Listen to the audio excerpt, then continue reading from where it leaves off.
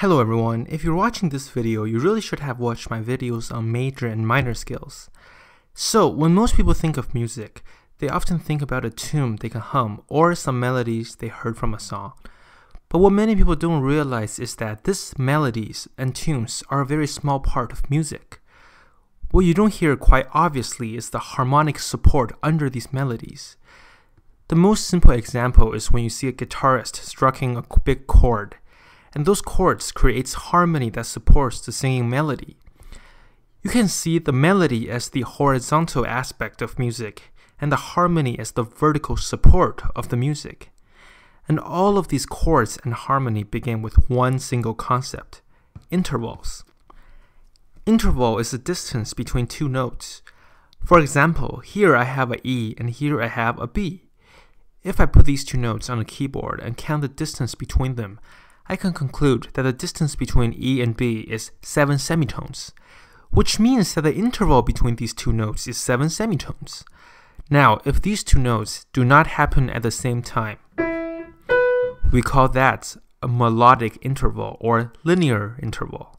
And if they do happen at the same time, we call them harmonic interval or vertical interval. But we will be most dealing with vertical intervals. There are two main types of intervals simple and compound. Simple intervals means that the two notes are within the octave. Here are some examples of simple intervals. As you can see, the top note is always within an octave. Compound intervals, on the contrary, are two notes that are further apart than an octave. So here are some compound intervals. And as you can see, the top notes are beyond an octave.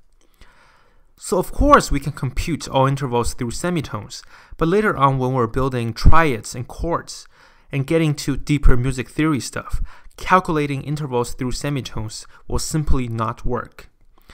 That is why we must learn how to measure intervals through size. An interval size is comprised of two factors, a generic size and a specific size. A generic size is the easier one to find it means the number of slots on the staff line which the interval spans. For example, here I have E and A.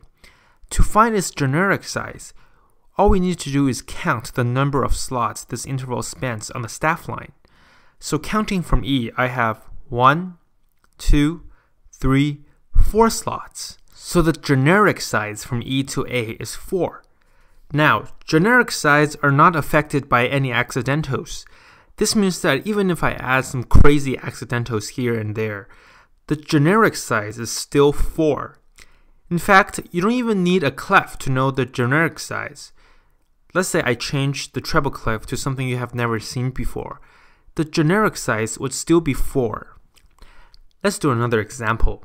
What is the generic size of these two notes? Again, we don't care about the accidentals.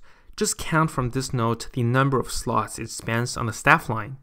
So 1, 2, 3, 4, 5, and 6. And the generic size of this interval is 6. Unfortunately, generic size is only the beginning of learning intervals. The more difficult aspect is the specific size. We have classified these specific sizes into different families. They are major intervals, minor intervals, perfect intervals, augmented intervals, and diminished intervals. Each family has their own characteristic and properties. For example, the perfect family has a very hollow and unison sound to it. So over the next few videos, we're going to dig in and master all of these families so that we can continue learning deeper music theory.